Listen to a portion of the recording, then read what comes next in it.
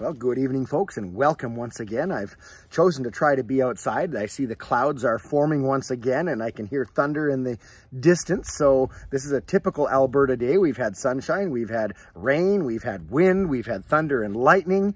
And hopefully we don't have hail as well before it's all over. But let's bow our heads and let's begin our study for this evening. Father in heaven, I want to thank you for this time that we have to spend together.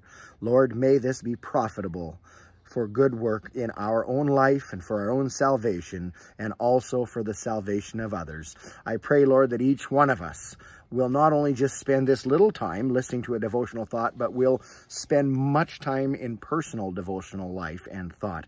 May we understand that we can take you with us into every situation, into every area of life, if we would keep you first and foremost in our hearts and minds throughout the day. I ask that your Holy Spirit now would descend upon us as we study, and I pray this in Jesus' name. Amen.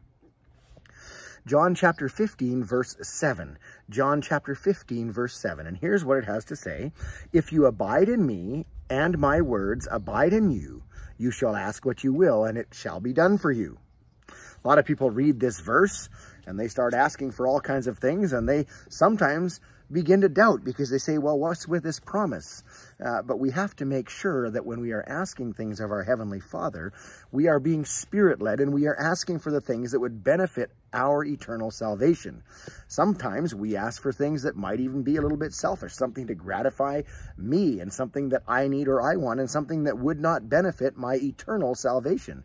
My Father who knows me better than I know myself will always make the decisions that will most benefit my eternal salvation and your eternal salvation. So we need to be spirit-led as we are asking for our Heavenly Father to assist us in earthly things. Now listen though, let's listen to uh, manuscript 73 and see what it has to say. There are many who get above the simplicity of Jesus Christ, supposing that they must do some great thing in order to work the works of God. Things of a temporal, na temporal nature absorb the attention of others, and they have little time for eternal thought or realities. Wearied out with cares that draw their minds from spiritual things, they cannot find time for communion with God. Constantly they ask themselves the question, how can I find time to study and practice the Word of God?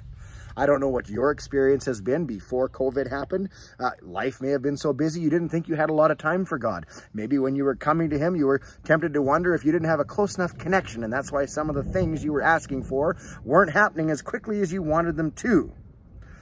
Let's read a little bit more here because if you think that maybe you have not been spending the time you need to, Jesus, I believe, is acquainted with, acquainted with the struggles that you and I go through. The Bible says we have a high priest who understands our suffering and our pain and the things that we have gone through. Why? Because he too went through the same things you and I face. John 15, 4 and 5 says this, Abide in me and I in you. As a branch cannot bear fruit of itself, except it abide in the vine, no more can ye, except you abide in me. I am the vine, and you are the branches. He that abides in me, and I in him, shall bring forth the same fruit. For without me you can do nothing. How do we abide in Christ? We take him with us no matter where we go we ask him as we are making decisions throughout the day, is this the decision you would have me make? Is this the decision that would lead me closer to your throne of grace? Is this the decision that will affect me in a positive way for eternal consequences? I'm going to read a little more here uh, from manuscript 73. Our first and highest duty is to know that we are abiding in Christ. He must do the work. We are to seek to know what saith the Lord yielding our lives to his guidance. When we have the Spirit of the Lord abiding in Christ, everything will take on a changed aspect. The Savior alone can give us the rest and peace we so much need. And in every invitation he gives to seek the Lord that he may be found of us. He is calling us to abide in him this is an invitation not merely to come to him, but to remain in him. It is the Spirit of God that moves us to come. When we have this rest and peace, our daily worries will not lead us to be coarse and rough and uncourteous. We shall no longer follow our own will, for we will want to do the will of God, abiding in Christ as the branches of the vine. This is what I'm saying. When we abide in Christ and we are doing his will, you will be amazed how quickly things will change in your prayer life, in what you desire, and in what you're asking for. Your faith will be built stronger. Why? Because you're now doing the will of your Father who is in heaven. Christ declares himself to be the way, the truth, and the life. The way to heaven is represented as a narrow path cast up for the ransomed of the Lord to walk. But truth illuminates this path at every step. If you don't want to wonder what the future holds, if you want to know where you will be going and know what the end of this life will bring for you, then let the Lord illuminate every step of your life. Let him open the path. Let him make the ways straight before you. And whatever that narrow path he puts you on, he will keep you as long as you are faithful. Let's bow our heads.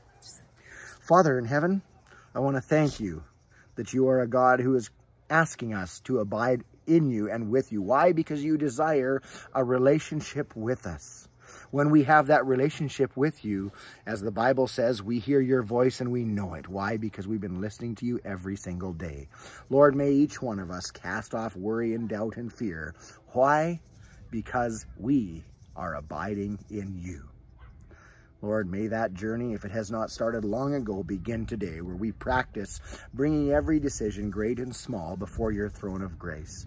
As we practice this now, our faith will be strengthened and when the challenges come, we'll be able to say like those three young Hebrew boys, my God is willing and able to save me from whatever situation I'm facing. But even if he doesn't, I'll still be faithful because eternal consequences are at stake. And I desire an eternity with the one who gave everything for me. I thank you, Lord, for giving us this little thought this evening. I pray that we will dwell upon it and that it in some way will draw each one who is listening this evening closer to you. And I ask this in Jesus' name. Amen. Well, folks, thank you, and I hope your week is off to a good start. Blessings, and we'll see you again tomorrow evening.